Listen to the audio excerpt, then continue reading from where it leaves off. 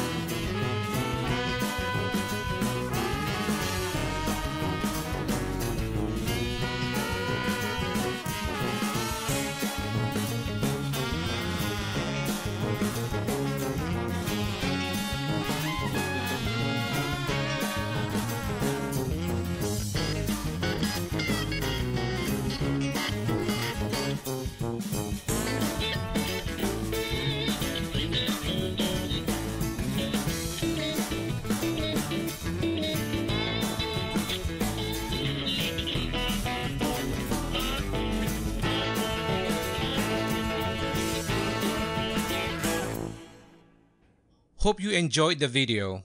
Please click the subscribe, share, like, and comment button. Kalau kau orang suka video ni, jangan lupa subscribe, share, like dan buat komen, okay? Bye!